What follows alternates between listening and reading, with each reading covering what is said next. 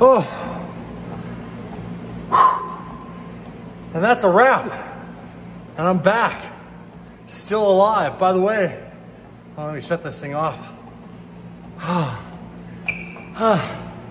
Catch my breath too.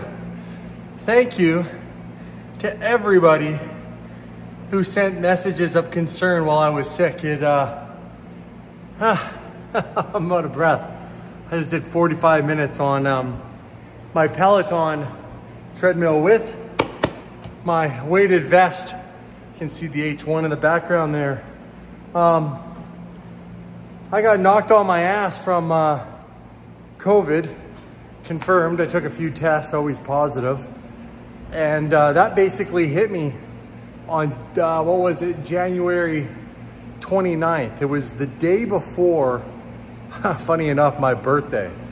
And uh, hit me pretty hard. And I ended up laying down on my couch in my living room. Oh, I gotta take this vest off.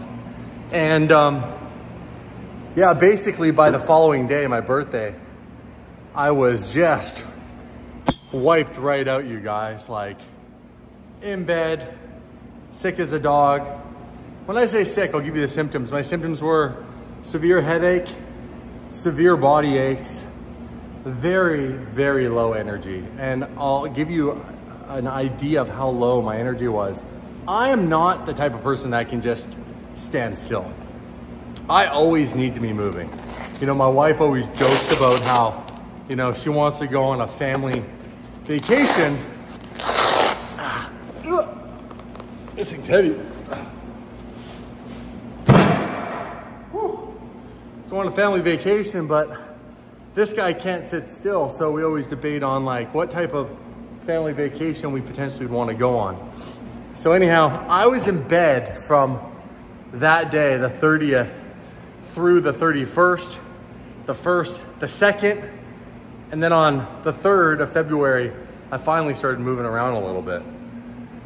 And then it was, uh, I think the 6th, I was feeling pretty good.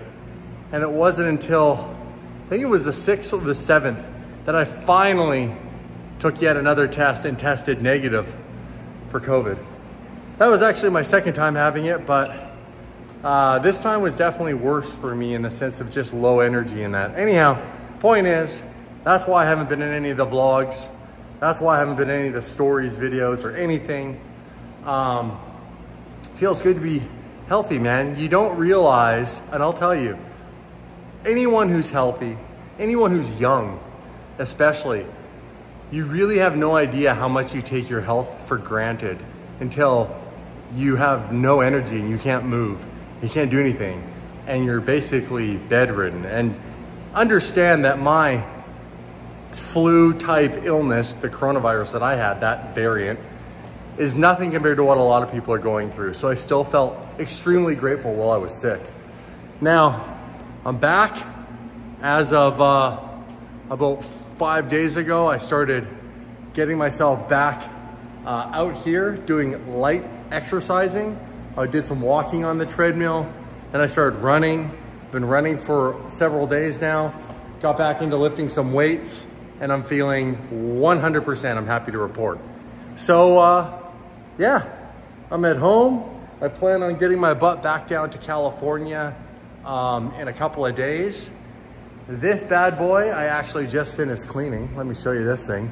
This thing looks good clean. It looks awful when there's dirt on it. And I'll tell you, with these tires, which are oversized, that stick out a little further like that, it really just sprays dirt like off the tire. It sprays all down the side of this truck, on the mirror, on the windows, everywhere. All down the back, because the back's the same. And uh, drives me nuts. But uh, I took some time yesterday and cleaned it all up. And damn, Hummer H1 looks good. Now, I got some big updates for you guys, uh, which I believe I'm probably making the title and thumbnail on this, but I'm gonna go inside, get a little bit of food, and uh, change, shower, and get out of this sweaty clothing. And I'm gonna tell you guys some major updates on the 720 GTR. Stick around. All right, so 720 update, you guys. The 720 GTR got shipped, if you didn't know, from California back to Canada. And the main reason for that was when we started asking questions with the body shops around Southern California um, that were Lamborghini, or sorry, McLaren certified to work on that car. The biggest issue came back to the fact that there were some very specific modifications on that car that nobody was willing to replicate or try to even attempt, which the number one thing was livery we had painted on the car. My version of the Lark livery. And that paint, first of all, was really hard to get. We had it formulated. So it just came down to the simple conclusion that we really needed to um, have that transported back to Canada, back to Fast Track Auto Body in Richmond, and that they would have the best shot at assessing the damage and making up, you know, an estimate proposal to the insurance company to have that car basically rebuilt in the state that it was, you know, damaged in. Um, there are no guarantees that uh, the insurance companies want going to want to cover things like the custom paint job and stuff like that. But we're going to have to wait and see.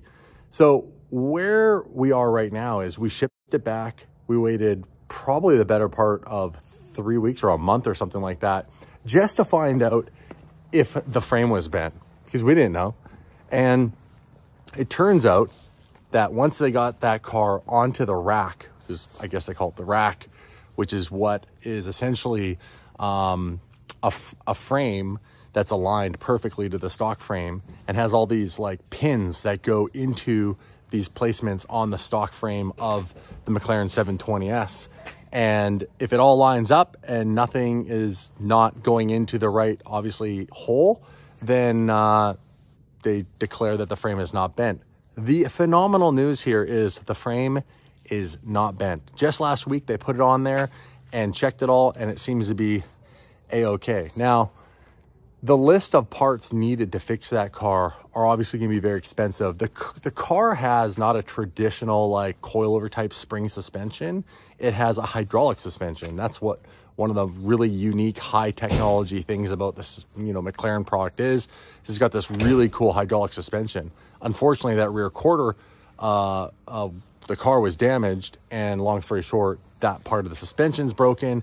So they're gonna have to replace that. Now I don't really know what's involved with that hydraulic suspension. I just know it's not gonna be cheap.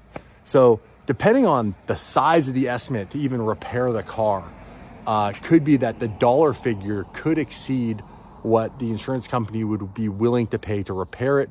They could uh, write this thing off and uh, we could end up with basically some form of a payout to essentially try to go and rebuild that car or maybe we could even buy that car back you know typically as the owner of a vehicle you get first right of refusal so that's where we're at um, the next step is to basically get an estimate from uh, fast track get to insurance get insurance to approve something and then we'll give you guys another update it's heartbreaking you know to be honest like i love that car I put my all my ideas, blood, sweat, tears, time into getting that thing built. It was painstakingly to get it all done. It took three years. And uh, that seems to be the magic number on this channel for building cars. Three years for some reason.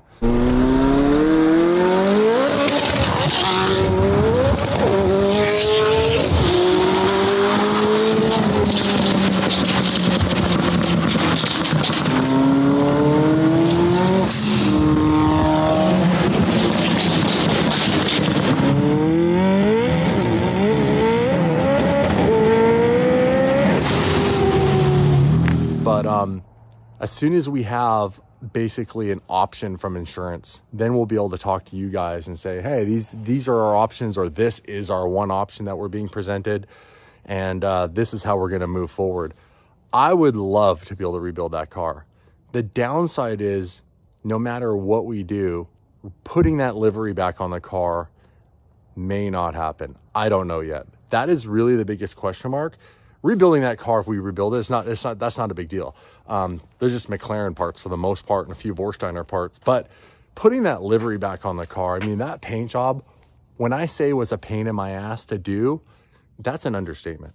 So that's where we're at with the 720. Family's jumping in the uh, G-Wagon. We're going to go out for like a little pre-Valentine's Day dinner with uh, my wife and my daughter and the dogs.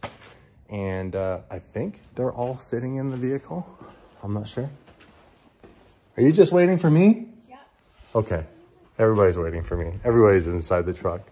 So I have some more news about the Murcielago. So after dinner, when I get back, I'm gonna bring you guys into a little conversation about that. Guys, I have crazy news about that. We actually got a payout for that vehicle and we still have the vehicle. All right, back from our little Valentine's Day dinner. And Presley, what did you get? All sorts of stuff? Yeah, I opened early Valentine's. Day. Early, look at this. Your little bag, a whole bunch of chocolates and sweets, other chocolates and sweets. A notebook. Notebook. Mushroom your little pen. mushroom pencil. Presley loves drawing and crafting like these little mushrooms, like the one that like Toad out of like Mario Kart or something. They're so cute. Anyhow, what I was going to share with you guys was a brief update on the Murcielago. Seems like it's been forever. That's because it has been. It's almost been a year since that car was initially crashed. So what it's happened is it just took a long time of back and forth with the insurance company to come to a resolution on uh, a value for that car.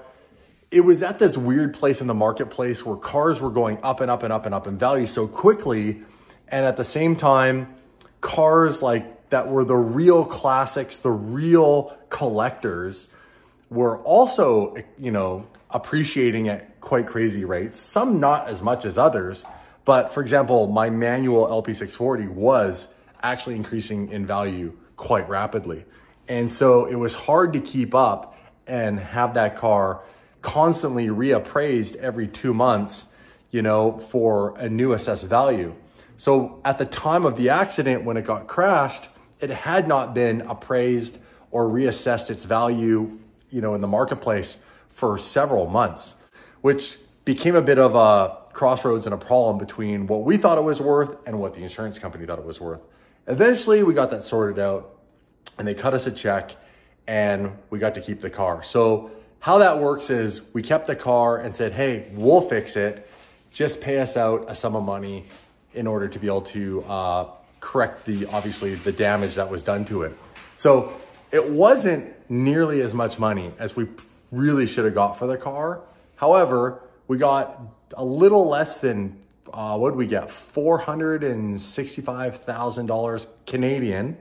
So you'd have to do the exchange rate. There's about a 34%, uh, you know, lesser amount uh, if you were to convert that into US dollars. Long story short, I have the stock front bumper, the OEM front bumper, the rear bumper, the stock OEM wheels sitting here at my house. In fact, I'll show you. We'll just take a little stroll down my hallway here and it's actually in my attached garage. It's been sitting here for years since we moved into this house. I've had this stuff kind of just dragging around with me. So the question I ask you guys is, do we basically take the car and convert it back to a stock format? It's really worth its most money on the market in its stock format. So completely stock LP640 with a manual gearbox, not the fake, you know, uh, SV style stuff. So right here, you can see the G right here, just down these stairs, we have this little panel that, which was already there when we moved into this home. That is, I believe, that should be, yes. I believe that's the stock front bumper. That's the rear bottom portion by the looks of it. And that piece a little further up, I believe is part of the diffuser. And then, and there's a few other little bits and pieces in there. I think there's even, funny enough, I think that's like the stock fenders, those black fenders. Those are the stock fenders from the, uh, the old Aperta because we put the, the Vorsteiner really cool louvered carbon fenders on. And here are the stock wheels, dirty and dusty, and they've been sitting here forever, these bad boys. Now, that's actually an 18 inch wheel. The stock factory wheel on the LP640 uh, or Murcielagos was an 18 inch wheel. It's quite small, quite small, but a very unique design. I'm actually, a, I'm a fan of those wheels. I have those sitting here. I got those with the car because the owner actually had these on, these HREs. So if you're an OG subscriber and you remember when I took delivery of the manual Murcielago just out front of Protective Film Solutions, it came with those HREs on it at the time. And then they just shipped me the other stock wheels. So I'm torn because I have to make a decision. Do I put it back to OEM and have the most value in the car? It's not gonna look very crazy. It'll look like a stock Murcielago, but the real gem is the gated gearbox. And I would get the most out of it eventually if I ever sold it. Or do we invest the money and buy some aftermarket, you know, kit or something crazy and make it crazy? And then it's never going to be worth really all that much money. I mean, it'll always be worth more than a e-gear Murcielago, but it just won't be like that collector value. So I guess that's my choice at the moment because once I go down this road, either making it OEM or making it crazy, crazy, there is probably no real going back. Like there's just, there wouldn't be a point. So it's a tough decision, you guys. I'd love to hear what you guys have to say in the comments below.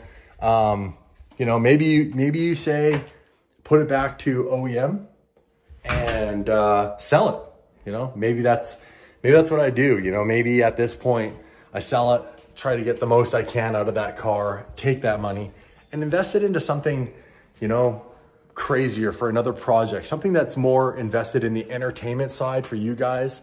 And, you know, for me, quite honestly, I love all the cars. People always ask me what's my favorite car. It really depends on the day. They all create a different experience. And as much as I love my manually gated Murcielago, I think I had a lot of good years with it. And I think if I made it OEM and could get a decent amount of money for it and make a decent little profit on that car, I think I'd be pretty satisfied. Yeah, I'd probably miss it, just like the Carrera GT. I miss that car. Beautiful car. But there were a lot of times when it just wasn't fun to drive. Like Driving it on the daily was really challenging because if you get into any sort of slow first gear or stop and go traffic, it's just not an easy car to drive, which makes it not that much fun after a while, especially if you're stuck in traffic for an hour in LA. So do I go OEM, you know, sell the car and invest it into something else? Or do we take it and go completely bananas and bash it crazy and modify it and make it something no one's ever going to do to a manual LP640. Um, there is a car across the pond in the UK from a gentleman by, the, by I believe his name is Phil Morrison. I believe I'm saying that right. I apologize if I got your name, last name wrong. Uh, he took an e-gear LP640, converted it to a manual, and then got the, I don't know if I'm pronouncing this right either, Reitinger, it's a German, I believe German company that did GT1 wide body racing with Lamborghini Murcielagos. And he took that wide body kit and completely fabbed it to fit onto the Murcielago. Now, it's an even bigger job than what we essentially just did with the race kit on the Huracan because nothing, and when I mean nothing, nothing comes close to even fitting a little bracket to the OEM fitment like the Huracan did it wasn't that far off.